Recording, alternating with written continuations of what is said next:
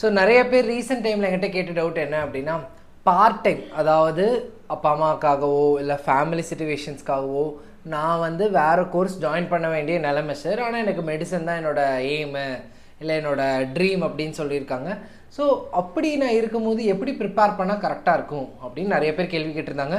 So அதுக்கான ஆன்சரை தான் இந்த வீடியோவில் பார்க்க போகிறோம் so before going welcome to my channel Inspiring Brains and this is Hari completed physiotherapy currently doing final year MBBS under part-time biology faculty. So first part time preparation அப்படின்னா என்னன்னு first தெரிஞ்சுக்கோங்க.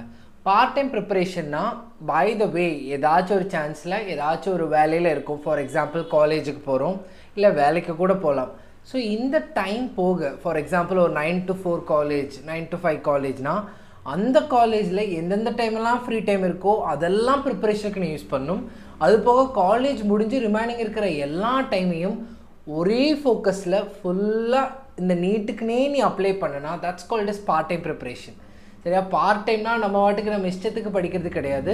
ஸோ காலேஜ் டைமில் break கிடைக்குது இல்லை free time கிடைக்குது இல்லை பின்னாடி உட்காந்து படிக்க முடியுதுங்கிற டைம் எல்லாத்தையுமே நீட்டுக்கு யூஸ் பண்ணும். அது போக காலேஜ் முடிஞ்சு வீட்டுக்கு வந்து ஃபார் எக்ஸாம்பிள் அஞ்சு மணிக்கு முடியுது சிக்ஸ் ஓ கிளாக் வீட்டுக்கு வரோன்னா six to eleven or twelve வரைக்கும் உட்காந்து படிக்கணும். காலையில் சிக்ஸ் ஓ கிளாக் எந்திரிக்கிறியா? எந்திரிச்சு எத்தனை மணிக்கு காலேஜ் கிளம்பணுமோ அது வரைக்கும் உட்காந்து ஃபுல்லாக ஃபோக்கஸ்டாக படிக்கணும். நடுவில் டெஸ்ட் எழுதணும். ஸோ இதுக்கு பேர் தான் பார்ட் டைம் ப்ரிப்பரேஷன் அப்படின்னு சொல்கிறாங்க ஸோ இதுதான் ஃபர்ஸ்ட் என்னன்னு இது தெரிஞ்சுக்கோங்க. ரெண்டாவது பிளான் ஸோ அன்லைக் இப்போ ஒரு ஃபுல் டைம் ரிப்பீட்டர்ஸ் எல்லாம் பார்த்துட்டேன்னா கொஞ்சம் ஈஸியாகவே ப்ரிப்பேர் பண்ணலாம். ஏன்னா they are in a strict protocol சரியா? இதுதான் ப்ரோட்டோக்கால் இந்த மாதிரி தான் இருக்கும். தென் சில டைம் கொஞ்சம் லீவ் இருக்கும்போது ஒரு ரெண்டு மூணு நாள் ரெஸ்ட் எடுக்கலாம் ரிலாக்ஸ் பண்ணலாம். பட் வரஸ் இந்த பார்ட் டைம் ப்ரிப்பரேஷனில் இந்த மாதிரி லிவரேஜஸ் எதுவுமே இருக்காது. நீ லீவு நாளில் முக்கியமாக எக்ஸ்ட்ரா ஃபுட் போட்டு படிக்கணும். உனக்கு நம்மளுக்கு பிரேக்குங்கிறதே இந்த இடத்துல கிடையாது. ஏன்னா ரிப்பீட்டர்ஸாக இருக்குது அப்படின்னா one or two days break எடுக்கலாங்கிற மாதிரி சுச்சுவேஷன்ஸ் வரலாம். பட் இந்த மாதிரி காலேஜ் இல்லை இந்த மாதிரி பார்ட் டைம் ப்ரிப்பரேஷனில் அந்த ஒன்று ரெண்டு நாள் தான் நம்மளால் பெஸ்ட்டாக படிக்க முடியும். எக்ஸ்ட்ரா நிறைய வீடியோஸ் பார்த்து கற்றுக்க முடியும். ஸோ டெஸ்ட்டு நிறைய எழுத முடியும். ஸோ அந்த நாளை நீங்கள் மிஸ் பண்ணக்கூடாது. So planning is very very very important and it should be efficient planning சும்மா எக்ஸ்ட்ராடனரியாக போடுறதுக்கு பதிலாக என்னால் ப்ராக்டிக்கலாக இந்த ஹார்ஸை கொடுக்க முடியும்.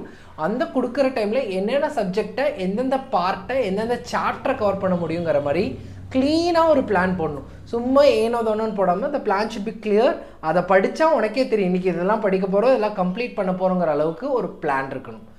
மூணாவது விஷயம் என்னது அப்படின்னா இட்ஸ் அ ஆப்ஷன் கோர்ஸில் என்ரோல் பண்ணுமா வேண்டாமா அப்படிங்கிற மாதிரி ஜென்ரலாக ஏதாச்சும் கோர்ஸ்க்கு என்ரோல் பண்ணுமா நீட்டுக்கு அப்படின்னு கேட்குறாங்க it's an option for example எங்கிட்ட முன்னாடி நான் ரிப்பீட் பண்ணும் போது அதை ப்ரிப்பேர் பண்ணும்போதே நல்ல நோட்ஸ் இருக்குது எனக்கு எல்லா கான்செப்ட்ஸும் ஓரளவுக்கு நல்லாவே தெரியும். நோட்ஸும் எங்கிட்ட இருக்குது ஸோ நான் வந்து ரிப்பீட்டடாக படித்து ப்ராக்டிஸ் பண்ணால் போதுங்கிறவங்க ஒரு கேட்டகரி ஏ கேட்டகரின்னு வச்சுக்கலாம். ஸோ இவங்க என்ன பண்ணலாம் அப்படின்னா just go through with your notes and prepare from your books and stuffs ஒன்றே ஒன்று எக்ஸ்ட்ரா பண்ணுங்கள் ஒரு டெஸ்ட் பேட்ச் முடிஞ்சால் ஜாயின் பண்ணிக்கோங்க. ஏன்னா that helps you to keep you in line நம்ம கரெக்டாக தான் போகிறோம் நம்ம காம்படிஷன் எப்படி இருக்குன்னு தெரிஞ்சுக்கிறதுக்கு அந்த டெஸ்ட் பேட்ச் ஹெல்ப் பண்ணும். ரெண்டாவது கேட்டகரி கேட்டகரி பி எப்படி என்னென்னா ஆல்ரெடி கான்செப்ட்ஸு எதுவுமே எனக்கு அவ்வளோ பேசிக்ஸும் தெரியாது. அதனால தான் எனக்கு ஆக்சுவலாக நான் கிளியர் பண்ண முடியல அப்படிங்கிறவங்க. ஸோ இன்கேஸ் ஏதாச்சும் ஒரு ஆன்லைன் ரெக்கார்டட் செஷன் ரெண்டுமே இருக்கிற மாதிரி ஒரு இடத்துல என்ரோல் பண்ணிக்கிறது பெட்டராக இருக்கும். ஏன் அப்படின்னா நம்மளுக்கு எப்போ ஃப்ரீ டைம் இருக்கும்னு நம்மளுக்கே தெரியாது. ஸோ அந்த ஃப்ரீ டைமில் ரெக்கார்டட் செஷன்ஸ்னால் நம்ம அந்த வீடியோஸ் ஈஸியாக பார்க்க முடியும்.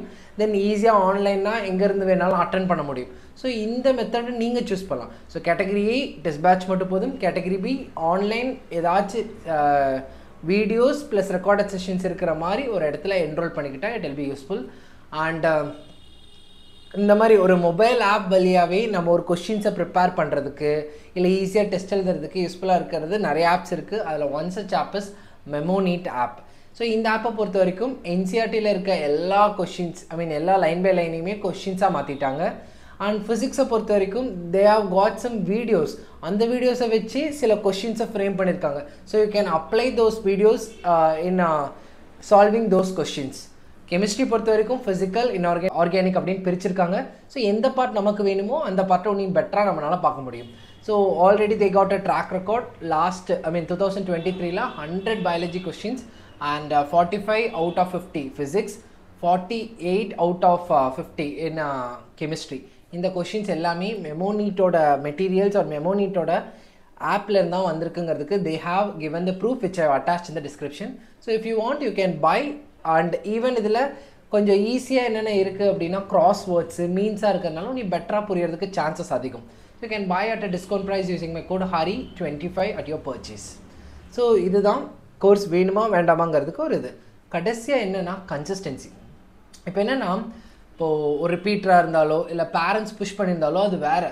ஸோ அவங்களே உன்னை வந்து கைட் பண்ணிப்பாங்க அவங்களே உன்னை புஷ் பண்ணிப்பாங்க. ஒன்னே ஒரு ஸ்ட்ரிக்ட் ப்ரோட்டோக்கால் இருந்திருப்போம் ஒரு இன்ஸ்டியூட்டில் இருந்திருந்தா. பட் வேறஸ் செல்ஃப் ப்ரிப்பரேஷன் அதுலேயுமே இந்த பார்ட் டைம் ப்ரிப்பரேஷனுங்கிற கான்செப்டில் என்னென்னா நீ டிசைட் பண்ண விஷயம். யாருமே உன்னை புஷ் பண்ணல நீ தான் எனக்கு இது வேணும்னு டிசைட் பண்ண. அப்போ நீ தான் வேணும்னு டிசைட் பண்ணனா you have to understand all the consequences and you should be ready to face all those things நான் தான் பண்ணியிருக்கேன் அப்படிங்கிற போது நிறையா ஃபங்க்ஷன்ஸ் நீ போக முடியாமல் இருக்கலாம் நிறையா செலிப்ரேஷன்ஸ் போக முடியாமல் இருக்கலாம் படத்துக்கு போக முடியாமல் இருக்கலாம். நீ காலேஜே போயிட்டு இருந்தாலுமே கிட்டத்தட்ட ஒரு ஜெயில் லைஃப்பை தான் நீ ஆக்சுவலாக எக்ஸ்பீரியன்ஸ் பண்ணணும் because of your preparation and this is what you destine நீ வேணும்னு நீ தான் டிசைட் பண்ணியிருக்க அப்போ கண்டிப்பாக ஒரு செல்ஃப் டிசிப்ளின்கிறத மட்டும் வெளியிலேருந்து யாரும் வந்து சொல்லித்தர மாட்டாங்க. ஸோ நீ செல்ஃப் டிசிப்ளினாக எப்படி இருக்கலாம் அப்படிங்கிறத ரொம்ப கரெக்டாக ஃபிக்ஸ் பண்ணிக்கோங்க. இதுக்கு ஒரு ஈஸியான ட்ரிக்காக எப்படி நீங்கள் இதை ஃபிக்ஸ் பண்ணலாம் அப்படின்னா நல்லா யோசிச்சுக்கோ. வேற ஒரு காலேஜ் ஜாயின் பண்ணிட்டேன் வேற ஒரு கோர்ஸையும் எடுத்துட்டேன். இப்போ இந்த கோர்ஸில் சுத்தமாக படிக்காமல் நீட்டுக்கு ப்ரிப்பேர் பண்ண போகிறீங்க மேபி பேரண்ட்ஸுக்கு தெரிஞ்சோ இல்லை தெரியாமையோ ரெண்டு ஆப்ஷன்லையுமே இருக்கலாம். இப்போ என்னென்னா ஃபுல்லாக நீட்டாக ஃபோக்கஸ் பண்ணி நீ ப்ரிப்பேர் பண்ணுறதுனால இன்கேஸ் இது மிஸ் ஆச்சு அப்படின்னா இன்ஜினியரிங்கோ இல்லை ஆச்சோ எதில் நீ ஜாயின் பண்ணியிருக்கியோ அதுவுமே நீ சரியாக படிக்காமல் இருந்திருப்பேன் கரெக்டாக இல்லையா? ஸோ உனக்கு இருக்கிற ஒரே ஒரு சான்ஸ் பெஸ்ட்டாக நீட் ப்ரிப்பேர் பண்ணி கிளியர் பண்ணி வெளியில் வந்துடணும் அப்போ அவ்வளோ பெஸ்ட்டாக நீ உன்னோட பொட்டன்ட்டை போடணும். ஒவ்வொரு டைமும் நீ டிப் ஆகும்போது இதை யோசிச்சுக்கோ. நம்ம இங்கேயும் சரியாக படிக்கல. சப்போஸ் நீட்டை நம்ம கிளியர் பண்ணல அப்படின்னா இதை கண்டினியூ பண்ணுற மாதிரி இருக்கும். அப்போ நம்ம உன்னி கஷ்டப்படணும். ஏன்னா ஆல்ரெடி முடிச்ச ஒரு ஒன் இயர் ஸ்டெப்ஸை நம்ம சரியாக கான்சென்ட்ரேட்டே பண்ணியிருக்க மாட்டோம். அது என்னன்னு தெரிஞ்சுக்கணும். அதெல்லாம் கற்றுக்க ஆரம்பிக்கணும். So one and only concentration focus self discipline எல்லாமே நீட் மேலே ஃபுல்லாக வைங்க.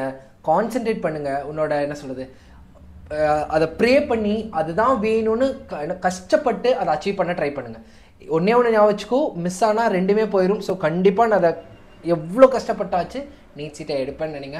கண்டிப்பாக இவ்வளோ கஷ்டப்பட்டு இவ்வளோ ப்ரே பண்ணி இவ்வளோ டிஸ்டாண்டாக இவ்வளோ ஃபோக்கஸ்டாக நீ ஒர்க் பண்ணனா அதுக்கான ரிசல்ட்ஸ் கண்டிப்பாக கிடைக்கும். உனக்கு ஒரு நல்ல காலேஜில் உன்னோட நீட் சீட் அதாவது உன்னோட எம்பிபிஎஸ் சீட் கன்ஃபார்ம் ஆயிரும். ஸோ எல்லாமே அந்த ஒரு என்ன சொல்கிறது நம்மளோட சின்ன வயசுலேருந்து வர ஒரு எய்ம் இல்லை டிசையர்னு சொல்லலாம். இல்லை ஒரு ஆசை ரொம்ப சொல்லுது அந்த கோட் போட்டு அந்த ஸ்டெப் போட்டு ஒரு பேஷண்ட் பார்க்கணும் இல்லை நம்ம வீட்டில் நம்ம அப்பா அம்மாவை பார்த்துக்கணும் அப்படிங்கிற ஒரு ஆசைக்காக தான் நீங்கள் இதெல்லாமே ட்ரை பண்ணிகிட்டு இருந்திருப்பீங்க. கண்டிப்பாக அந்த ஆசைக்கான இன்புட்டை கொடுத்தீங்கன்னா ரிசல்ட்ஸ் கண்டிப்பாக நல்லா வரும். So can you will be all in to your medical colleges all the very best இது போக உங்களுக்கு வேறு ஏதாச்சும் டவுட்ஸ் இருந்தாலுமே you can put it in the comment box below We'll surely do a video the next time. Thank you.